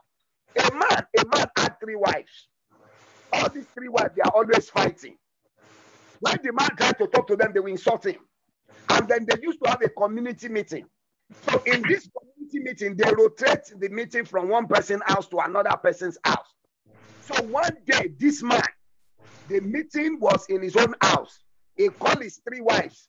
He went to them in the room one by one. He said, Mama Segun, community meeting is going to be in our house. Oh. Please, when people come, try to respect me. I, I can call when I say go and bring water. And you are slow. I said, Yo, what is wrong with you? You this foolish woman. No. He said, Don't say yes, sir. He went to his second wife. He said, I will call you to go and bring the soda. If I abuse you, please don't abuse me. When everybody has gone, he said the same thing to the third wife. When everybody has gone, You cannot fight me. But in the presence of everybody, make me appear I'm in control of my house. He begged each one of the wives, prostrated for them in his room one by one. The day of the meeting came. Everybody was looking at this woman. He will call the first one, Mama Segun. Nonsense, stupid one. Run there. The Mama Segun will say, Yes, sir, daddy. He will call eh, Mama Risi. Eh, that one too will run. He said, Yes, sir. Then he will call Mama Cynthia. Run. Eh, everybody say, Yes, sir. Everything. At the end of the whole thing, everybody was saying, Wow, this man is a good man. Can you imagine how he controlled his own family? All his three wives were respecting him. Then there was another man, the three wives. He saw how this man controlled his wife. His wife was respecting him. Then he got mm. home. He didn't know what the man did in the secret. He called his three wives. He said, Say you people, you foolish women, sure you are there the you are there at the meeting. You saw that man when he called his wife, they will answer. The next meeting is in our household. Oh. If you people like, don't make your head to the face. When I call you, you'll be misbehaving. Then the day of the meeting came. When he called the first one, they will answer, yes, sir. When he called the second one, they will answer, yes, sir. He called the third one, they will answer, yes, sir. The first time when he misbehaved, the, the wife flared up. He said, foolish man. He threw the whole thing. The whole people were saying, hey, the man was embarrassed. Then, how come my friend had three wives? He was successful in managing his three wives. How come I was not able to manage my own? The wife said, What did you what did you do before the meeting? He said, I didn't do anything. I told them that they should see how you are controlling your family and all your wife are respecting you. Uh, the man said, Mr. Man, you're a foolish man. No. I prostrated for each of these wives one by one before we had the, the meeting. I begged them so that they will address me and respect me. The same thing, you do know those other churches, those other places you you are jumping to, they are sacrificing doing things in the secret. So they come on the stage, they appear to be holy, they appear to be perfect. But you, you think your own church is not perfect. And that is why you see people like Bracky said, jumping from one place to the other. You got to make your own great too. How do you make your own great too? You got to love what you are doing. Believe in the vision. Believe in your house. Believe in your pastor. Believe where you are. Even if there's anything that is not good, you can pray about it and it's going to be good. So I'm, I'm trusting God as I hand over back to Dr. Ubina. Uh, so somebody said, okay, some of us, when your pastor is preaching, like not that we are doing this Bible study, Dr. Ubina is sharing things, but you will not share this platform. It's part of the sin we are talking about. It's part of the iniquity. You will not make comments. You will not write comments. You cannot comment on other people's platform. You will not write on your own church platform. You will share other people's video. You will share their. Uh, yes, so if you are there, you are guilty. Just be repenting as I'm talking now. I'm not mentioning anybody's name, but you know yourself. You know yourself. So if you, from today, I am preaching, or Brother King teaching, or Apostle Paul or Shehu or the Bina, and they are saying something, you are not writing comment. Oh, we are watching you. We know you. We are now knowing. We now know those who, who are for this house and those who are not for us. Uh, you have to repent. Make your church look good. Make your church look great. Okay, Dr. Bina is preaching. Now, I'm not seeing some of you writing comments. But if it is one prophet uh, from Karen Amodia, you write comment. Can't you say Dr. Bina powerful? Dr. Bina good teaching. Oh, brother King. Okay, like now, somebody should write. Brother King, that's a good one. Spiritual adoption. Somebody should write. I'm watching the comments now. Right. If you don't write, you're a sinner. You need to repent. You are a sinner. You don't, you don't believe in your own church. How is your church going to be great? Forgive. Forgive. For really guy. For really guy. You got to make your church great. Say nice thing about me as your pastor. Say nice thing about brother K, Dr. Bina. Say nice thing about my wife. Say, mommy, you are beautiful. Mommy, you are wonderful. Mommy, finish preaching. Bring money. Say, mommy, I'm, I'm so blessed today. Take money, buy minerals. Daddy, go and buy. Me, I like ah, Starbucks. But don't be giving me, don't be giving me money for Starbucks all the all, all the time. It's not only Starbucks I need to buy something that will make me happy to know that we are growing the church. Me too, I'll be happy to pray for you. Don't Dr. now. don't let me take it back to you. You are the teacher. I'm just a supporter. praise God. Praise Mommy, God. Thank you for laughing. Mommy, God, I can see you. The, Sister Angela, thank you. Yes, go ahead. Dr. Bina, back to you. Okay, praise God. And thank you, Pastor, for that uh, illustration. Now, I we're still talking about throwing arrows of light. Yes, sir. And part of the obstacle and what brought insight to Paul was an impartation he had when he was his name was Saul. And that impartation helped him to humble himself to learn a new religion, let me put it that way, a new way of life, different from what he used to know. Mm-hmm. Now, how do we bring this into our own Christendom, our own little community? You see, you may have been doing things the way you like, you may have been moving, it has been going well for you, but by the fact that you are under a certain authority, you are under certain supervision, it may yeah. be the choir leader, it may be the pastor, it may be the technical unit leader. It doesn't matter. You are under authority. You are under people that have been given an assignment to make sure the group works well. The onus is on you to respect them.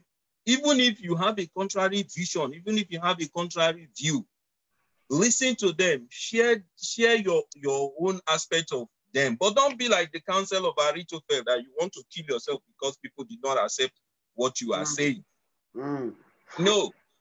There, there, there are reasons why they don't accept it at that time. Give it some days. Maybe they will accept as a result of um, certain things or as a result of knowledge. Praise God. Hallelujah. And it's important you understand this because you see, if you are in a haste that you want to do this thing, you want to move this mountain, ah, Pastor, which we should evangelize the whole of San Jose. We need to move by your power and everything, which is good. But by the time you go around and rather than winning souls, the cops are winning you. Mm. See, it's going to take away and distract the church. Because there is a rule in the land. You need you don't just loiter around because you have a over uh, your, your ministry is moving. There is a process. And if we were so we were so zealous as people, we had the power, we had everything. You know, we would have continued service all throughout this period of COVID. Mm. But let me ask you, if we had continued, perhaps it would just be me and pastor, or only pastor, or mm. only me. Because at a stage, either that the cops will come around us up, or even you will call nine, uh, 124 and inform them that these people are holding service somewhere. Praise God. Hallelujah. So what I'm saying is, irrespective of the vision that God is giving you as a person, mm. Irrespective of the direction that God is leading you as an apostle, as a prophet, as a teacher, as a pastor, within the fivefold ministry, all these ministries, they are also subject to the leader. Let the leader know, ah, this is my vision. This is what God is laying in my heart. Can you direct me? And because most of us, we don't even give opportunity for one-on-one discussion. We don't even want to listen. We don't want to discuss. We don't want to put whatever uh, grace that God is giving us. We don't, we, we just know, believe we know it all. That is what brings about unteachable spirit. Mm. And the first thing that the Lord desires to destroy in the heart of Saul was the unteachability in him to bring him to the level that he has to learn. And you see, he was so uh, he was so overtaken with the fact that he he started learning and learning and learning and even knew so much more than all the apostles that have been with Jesus themselves. Mm. So imagine if God had not humbled him and brought him to the level that God wanted him to. Praise God. Hallelujah. I hope this is ministering to somebody. I remember yes, when, when uh, Paul was ministering and a prophet came and said, This cloak that I'm tying around my neck is what is going to be used to chain you mm. when you go to stand in the, in, in the presence of the king. You see, he would have listened and said, Oh, okay, let's postpone, let's do this, let's look for some other means so that the ministry will move. But that aspect in him that is fire, fire, word for word, mm. he took it even to the front of uh, the um, Agrippa and the rest of them. And he told them their life history from beginning to end, thinking that even Agrippa will say, Oh, you, you, you think you want to convert me to a Christian? See, we need to be humble to learn from God at every stage. Praise God. Hallelujah. And that is why that is why this is important. You see, at every stage, because now we are still five by five, six by six, ten by ten, we're still a growing church. A stage will come that pastor will not even have time to listen to your complaint. But we pray that, Pastor, you still have time to listen to everybody's complaint. That is our prayer in Jesus' name. Let's not go too far. Amen. All right. So the Dr. you have less than five minutes. Um, we stop at point B. We will continue next week from point C. So yeah, go ahead. Okay. When God corrects us, it is with the intention of shining his light of truth into the darkness of our errors, sins, and unrighteousness. This is why the intent, this is this is only the intention to bring us back into the truth and life of God. Mm. When we confront our neighbors or fellow believers with the mind of rebuking and reproving mm. them, it must be with the intention of throwing arrows of light that will bring godly sorrow, repentance, and change.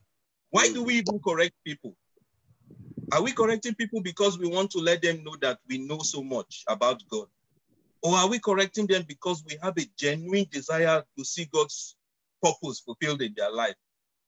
Or are we correcting them to show them that we are superior?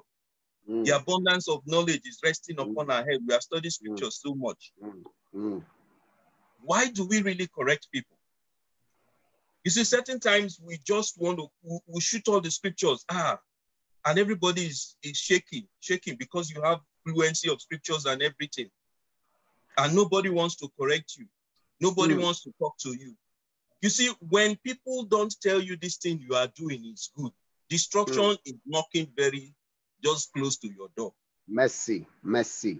And I don't want to get to a stage that somebody will not sit me down and say, see, bros, this thing you are mm. doing, this thing mm. you are mm. doing, that thing you are mm. doing. I don't want to get to mm. that stage. Because perhaps the opportunity that people will have to correct you may never be there. Hmm. May never be there because. You may grow with so much knowledge, so much understanding of God, and people are looking at you far above from on high. And it becomes difficult for people to interact with you, people to tell you simple things Mercy. that are humanly possible, are humanly good. I give you an instance, a brother friend of mine, while growing up, he was so holiness conscious and everything that he was so lost out of touch with this world. Mm. And I told him at that time that, see, you see, why you are doing all these things is because God has not blessed you. Mercy. By the time God blesses you and hammers you with blessing, mm. we will be looking for you in faith. Mm. All your ministry, all your scriptures, everything would change. Mm. Uh, you say, uh, you don't know. Don't, you know, quote all the scriptures and everything to help us understand that holiness is flowing. Mm. Immediately, the, the, brother left left school and got a job. He got a job with Shell, and they hammered. You know when they hammer your bank account. uh, somebody, somebody in the kitchen, can you mute yourself? Praise God. coffee. Uh, Excellency, can you mute yourself? You see, who, who is that? Sorry, they say it's not excellency. Mute yourself. We are hearing your discussion. Praise God. Hallelujah. You see, while we are still at this level, understanding the basic and the little things that God is helping us to understand. Yeah.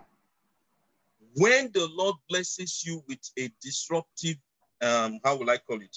It used to be destructive technology those days. Mm. I don't know what it is now. But in ministry, when God blesses you with power that is from on high mm. in a dimension that all of us cannot understand. Mm. How humble are, are, you going to be that even your brethren will still be able to approach you? Mm. Thank you. How humble are you still going to be? Or perhaps the Lord showers so much blessings on you financially. Mm. You see, ministry becomes difficult. Even gathering of brethren becomes difficult. So Thank at this stage that we are still growing, as I'm rounding up, yeah, the essence of rebuke and reproof is not because we want uh, the church wants to sack you, the, mm. the, church wants to make a disgrace of you, mm. and that is one of the things that pastor always says in church. Whatever we say in church stays in church. It's not because um, um we, we don't want everybody to. We want to protect the integrity of the church so that the church yep. can be pruned. The word is pruned. Mm. When, when you sow a seed and it's growing and it's not growing the way you want, you prune it so that the, the shape will come the way all the leaves and the branches will be able to yes, absorb direct sunlight. And that is what the ministry of the pastor is. Not as easy as, or let me not use the word easy. The ministry of the apostle, he can speak the word. He doesn't care if you repent, you don't repent. He tell you that the Lord is going to send fire and blah, blah, blah. But the pastor's work, he guides you as a sheep. He leads you. He takes you as he's going. When you make correction, he will still pat you and he will drag you back and bring you closer to him. The ministry Amen. of the prophet, he will say your future, your past, your present, and to come. He's not disturbed about what your reactions are. Yeah. And we need all these fivefold ministries to move. The teacher will teach you God's word from beginning to end, mm. but may not be patient for you with you to repent. Mm. Praise God. Hallelujah. So when things happen in church, we will get to the other stages as I round up. This is just the next one is going to be a reproof with wisdom. There are certain elders and people of understanding in the church that may be called to intercede pertaining your issue. And let me tell you this interesting thing if you don't know. You see, it's only in the church that people, um, a council or a meeting is called because they want to make corrections with you. In your workplace, when the council or a meeting is called one, two, three times, that's the end of it. Nobody is interested in listening again. Mm. It is only in the church that people will sit down because they want the genuineness of repentance, they want the genuineness of growth, they want the genuineness of um, God's grace upon your life. In the secular world, after two, three, they will just send, send letter to you. And COVID time now, everybody is looking for reasons to send letter to everybody. The Lord will help us in Jesus' name. Amen. Thank you, Dr. Obinna. God bless you. Let's put on together for the Lord Jesus Christ. Wow, wow. Dr. Obinna. Oh, I said, let's clap. If you are not clapping for Dr. Obinna, in, in spite of what we are saying, you is mean that you are still not uh, uh, listening. You are not getting the teaching. And uh, before we round up, uh, Dr. Obinna, thank you because somebody said, I love what Sister Barbara said here. He said it takes humility to listen and it takes humility to accept correction. Thank you. God bless you. Uh, Mommy Angela, what a wonderful study. Mommy Comfort, well spoken, sir. Uh, brother, uh, my wife, mommy said, Brother King, that's a good one. Spiritual adultery, mercy. I repent, repent, repent. Some people are not, they are only watching, they are not commenting. I see some people, they just wrote watching. You are not coming. If, if, if your brother is preaching or your husband or your wife, you need to make some good comment. You you need to uh, you need to make my husband, my brother. You are doing great things. God bless you. Somebody, mommy Elizabeth said um, that was a wonderful message. Brother J. Wise, wonderful message. Somebody said, love your neighbor. Yo, hallelujah. Mommy, mommy Tony and me said um, we need to be humble to learn from God at every stage. God bless you. Ah, Brother J. Wise, awesome teaching. Mommy Elizabeth, that's right. God bless you. Sister BC, great teaching. Oh, thank you, Jesus. Hallelujah. Uh, Brother Emmanuel, I, I, I can't see that. Yes, let me see that. Somebody, another Emmanuel. Uh, yes, brother Emmanuel Tambo. He said, Proverb 3 5, humility. We must be ready for correction and learning. Socrates says, all I know is that I know nothing. Hey, oh my God, I like this brother. Hey, I'm going to, I'm going to, I'm going to copy brother Emmanuel Tambuz. He says Socrates says, all I know is that I know nothing. So it, it's open our understanding for correction, for wisdom from the men of God. So when you understand that all you know, you don't know nothing. Whatever you think you know is nothing. Because when God begins to open your eyes and bring you to other people, then you know that you don't know nothing. So Apostle Paul said we understand in part and we prophesy in part. So we have come to the end of this whole uh, teaching for today. We did not finish part two, where Dr. Obinna is going to continue next week. And in between, I'll be able to bring some clips and show you, and we listen. And then we know that we are in the right direction. And I trust God by the time we are coming back after COVID 19 will be stronger, will be better as a church, will be more anointed. The presence of God will flow among us in the name of Jesus. So thank you to all our teachers for tonight, Brother King, Brother Dr. Bina, God bless you. We appreciate you all. All the people who have contributed, Shion, Brother Paul, God bless you. And Brother Boris, God bless you. God bless you. We love you. May the Lord keep you. May the Lord watch over you in Jesus' name. Don't forget to give your offering online and your tithe, whatever you want to give. And the Lord will bless you and the Lord will increase you. God bless you. Shall we share the grace together? Make sure you share this message. It's a good message. Somebody say it's a good message. I, I can unmute yourself. Somebody um, say it's a good message. message. A good message. Say, It's a good and fantastic message. Somebody says a good and fantastic message. Somebody say, brother King, well done. Brother Okay, King, so well God, done. now, Brother King, well done. well done. Therefore, well done, done, done, done, done, done. Oh, Jesus. Even me myself, well done. My wife too, well done. If you don't greet me, I greet myself. When the lizard fell down from ground, he looked around, nobody was praising him. The lizard raised his up like this. You know what you were saying? If you don't praise me, I praise myself. You don't praise me, I praise my Ah, God bless you in Jesus' name. Shall we share the grace together? One to go. May the grace of our Lord Jesus Christ, the love of God, and the sweet fellowship of the Holy Spirit be with us now and us now forevermore. forevermore. Amen. Surely Goodness and mercy goodness and mercy shall follow all us the all days of the our days of our We lives. shall dwell in We the shall house of the dwell in the house of the forever Lord and ever. forever and, and ever. Amen. Amen. God bless you, all those of you who have contributed online. The Lord bless you. Thank you so much. We love you. Have a wonderful, wonderful, wonderful rest of the week. We'll be in church on Sunday online, and we continue the series we started on Sunday. Several people you will meet on the journey of your life. God bless you. Have a God bless you wonderful too, night. sister. Shalom, shalom, shalom. We love you. We appreciate We you all. you God bless you. You God bless you. God bless Amen. you. Thank God bless all. you all. God Thank bless you, you. sir. Thank you. Thank you all. Good night. Thank you. Good night. God bless you. We appreciate seeing you all. God bless you. We love you. We love you. God bless you. All the people who may comment. God bless you, sister. Yes, God bless you. God Static, bless are you, you. are you static or you are moving? okay, now you are moving now. Okay, I can see you. All right. Okay. God bless you. God bless you, Paul, Pastor. Sister Titi, Your Excellency. God bless you all. We we love you. We appreciate you. God bless you, brother Jeb Wise, brother Paul, the keyboardist. Thank you. You are your corner office. I can see you there.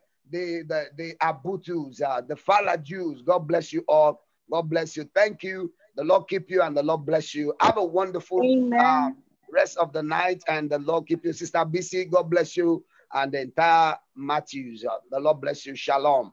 Amen. The brow, yeah, the, the Ariel last. God bless you. Yes, I can see you. Chioma, God bless you. Yes, yes, yes, yes. God bless you, Pastor.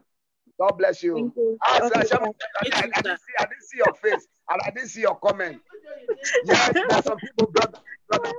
God bless you. God bless you, Pastor. Yes, I can see those people. God bless you. God bless you. God bless you. Shalom. Have a wonderful, wonderful, wonderful night. Shalom, shalom, shalom. Thank you. God bless you all.